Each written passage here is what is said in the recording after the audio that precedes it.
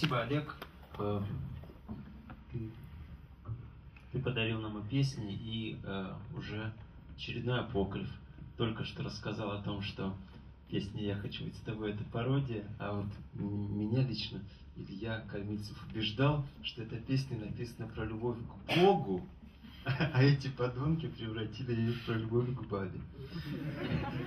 Э, ну, я думаю, что чем дальше в тем больше будет таких рассказов, и э, это, это, наверное, прекрасно. А, апокрифы нужны. А, Александр Коротич знал Илью лучше многих нас, работал с ним, и ему слово.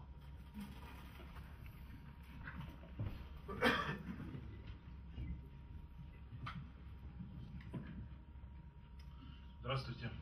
А, ну, так получилось, что, наверное, в этом зале а, так долго, как я, с Ильей, наверное, никто не общался, потому что, в общем, те скобки, которые в моей жизни обозначают присутствие Ильи Кормильцева, это 30 лет.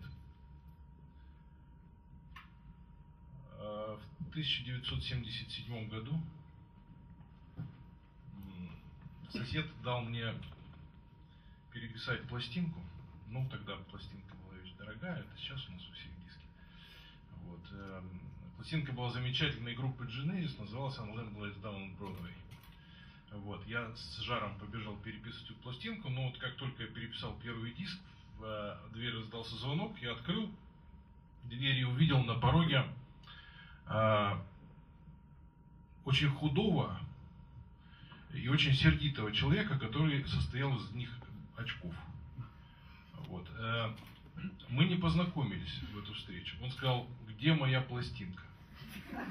Забрал и ушел. Это был Илья Кормильцев.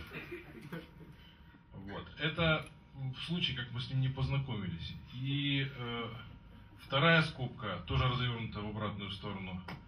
Э, почти 30 лет спустя э, я оказался в Лондоне в тот момент, когда Туда должен был прилететь Илья с дочерью и вещами, потому что его жена Лися Манковская, она уже там в Лондоне жила, училась. А, я ей звонил целую неделю, говорил, Илья приехал, приехал, она говорит, нет, ну вот не сегодня, завтра, может быть, там, и наконец последний день, вот на завтра улетать. Вот она звонит и говорит, слушай, он приехал, но такая фигня произошла, он болеет. Я говорю, что такое с ним случилось? Ну, говорит, он, а, когда из такси вылез, во-первых, он в такси лежал, когда ехал от аэропорта до дома. Значит, а когда из такси вылез, лежа расплачивался с таксистом. До такой степени у него болела спина. Я говорю, что у него спиной такое? Ну, он что-то жалуется на спину последнее время. Ну, ты им позвони, и, и вы, э, значит, встретитесь. А у меня как раз остается, ну, за одно или два дела вот на этот день, на последний. И я себе представил э, больного кормильцева злого, ну, кто хорошо общался, что такое злой кормильцев, это э, злого, брезгливого, недовольного жизнью, и приехать к нему в Лондоне для того, чтобы пообщаться с ним там несколько минут, я подумал, что, наверное, не стоит того. И я с ним не попрощался, судьба мне не дала больше шанса э, встретиться с моим другом. Э, только вот были последние разговоры, последние дни, когда мы звонили в больницу. Э, вот такой вот серьезный участок жизни, 30 лет, эм, я не могу сказать, я не могу назвать его своим другом, хотя, наверное, так вот по, по номенклатуре положено, что мы с ним друзья. Э, я бы сказал, что мы родственники, потому что э, когда с человеком не видишься полгода и знаешь, что он где-то есть, и тебе от этого хорошо, и можно с ним не переговариваться, не звонить, ничего, это уже даже не дружба, я бы сказал, это совершенно другие отношения. Несколько слов, э, ну, как бы немножечко личных, потому что я говорю, что вот мы очень давно с ним были знакомы, и, может быть, вам будет интересно узнать, каким он парнем был. Постараюсь обойтись без пафоса, без охов, без ахов. А, одна из первых таких запоминающих встреч произошла уже в эпоху Урфинджуса. Я был студентом архитектурного института и рисовал обложку к альбому 15, сидя на лекциях шариковой ручкой. А тем временем Кормильцев писал тексты для следующего альбома.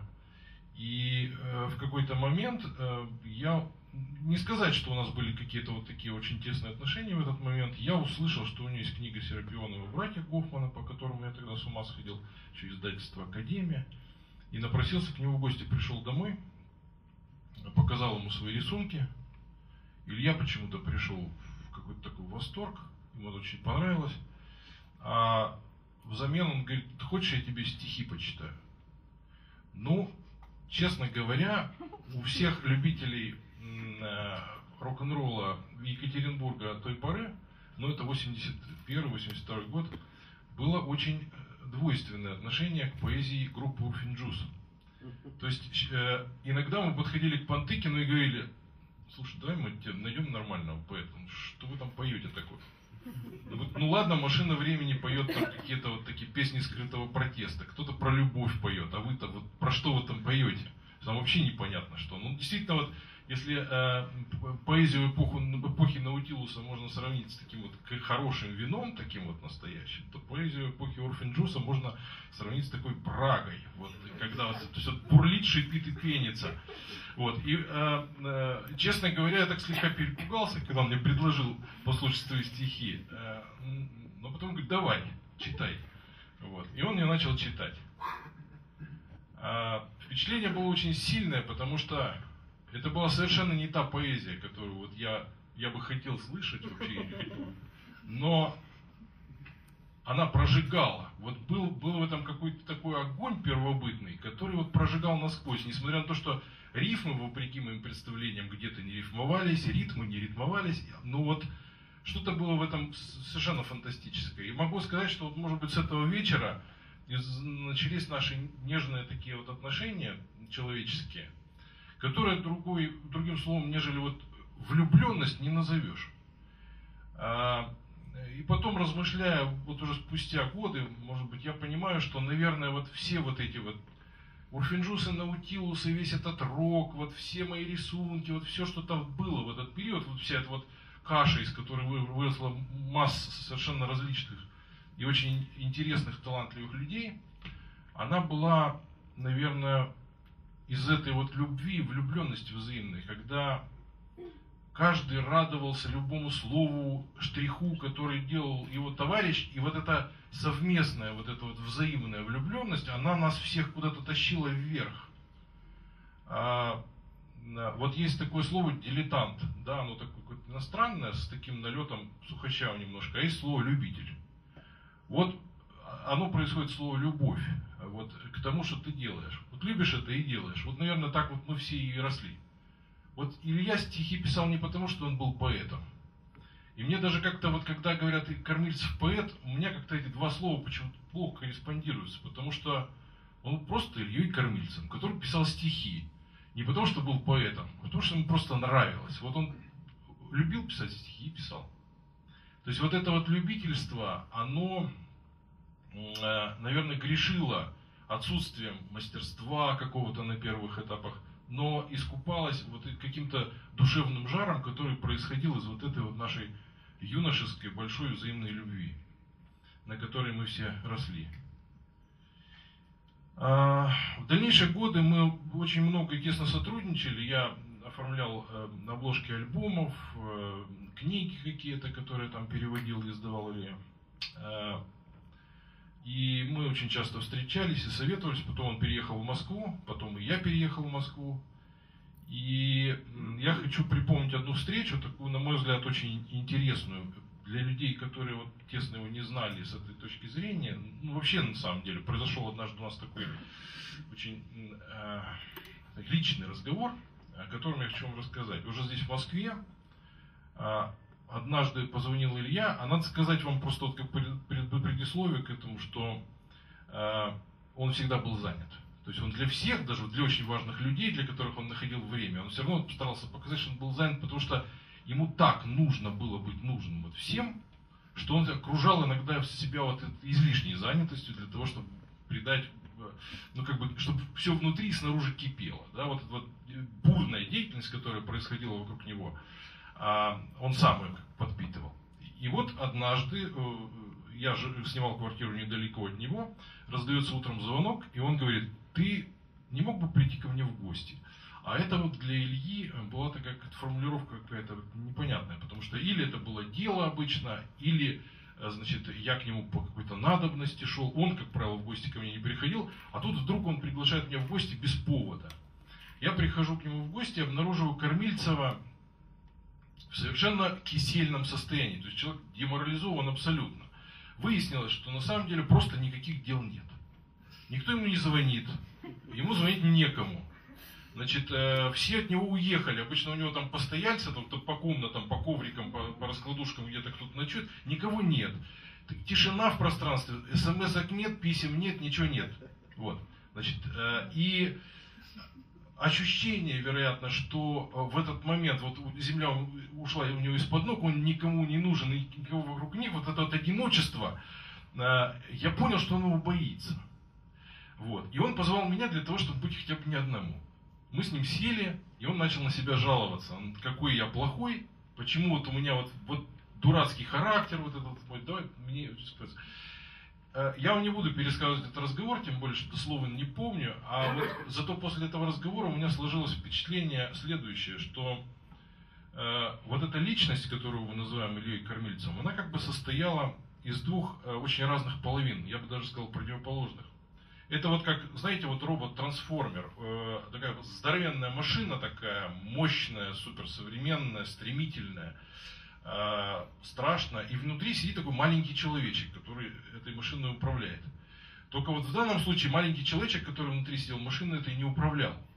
Что было особенным, роковым таким вот как бы э, обстоятельством, э, это вот, если такого вот внешнего, большого, такого умного, пронзительного, скоростного Кормильцева, который был всегда в курсе всех дел, который э, язык осваивал за неделю иностранный. То есть вот, вот такого вот супер-супер-супер-супер человека, значит, э, внутри сидел э, мальчик э, из рассказов о прыжках по крышам сараев, если кто читал. Вот такой вот, на самом деле, маленький мальчик, э, который многого боялся, стеснялся, какой-то нерешительный, вот такой какой-то тихий, э, совершенно другой человек, абсолютно. И я с этим человеком вот один вечер говорил, разговаривал с этим человеком. И потом, когда я вот сопоставлял вот этот образ с тем, что происходит, мне становились понятны многие его поступки и многие его стихи, потому что, возможно, именно из-за этого внутреннего диалога или внутреннего противоречия, которое у него постоянно существовало. И появлялись те интересные темы и те интересные повороты мыслей, которые мы читаем вот в его произведениях. И те, которые, все те умозаключения. Он, наверное, этому человеку, один другому всегда что-то доказывал. Что вот я могу или я не могу, а ты вот... И вот это вот внутреннее противоборство – не было э, снаружи его ни обстоятельств, ни э, людей, с которыми он хотел бы или мог конкурировать. Он обгонял все, он мыслил, он только вот какое-то событие свершилось, он ни в коем случае не задерживался, и он мыслью улетал уже и делал новый оборот вокруг Земли, уже жил там в следующем веке. То есть вот это вот удивительная черта вот этого вот какого-то душевного непокоя, которого тащила по жизни. Однажды я ему спросил, что ты все время газеты читаешь? Я вот не могу читать газету. Вот я, я был членом коммунистической партии не выписывал газету «Правда». Это было равно преступлению просто. И до сих пор не читаю ни одной газеты, и вот при этом могу что-то рисовать нормально. А он говорит, я читаю газеты, потому что я без них ничего не могу написать. Я оттуда черпаю вдохновение и темы. Вот видите, какой вот интересный такой поворот. А, на самом деле я э, надеюсь и мечтаю, что, может быть, найдутся серьезные люди, которые какую-нибудь, я не знаю, книгу, диссертацию затеют, потому что э, личность это очень загадочная, э, таинственная. До сих пор, я думаю, что вот сама как бы предыстория и история его кончины это отдельный приключенческий роман, в котором еще разбираться и разбираться. Вот. А э, не только вот рояль в кустах э, театра практика, а я думаю, еще и много чего нам Кормильцев оставил такого, что можно раскопать и, и страшно удивиться. Э, чего вам и желаю. Спасибо. Так,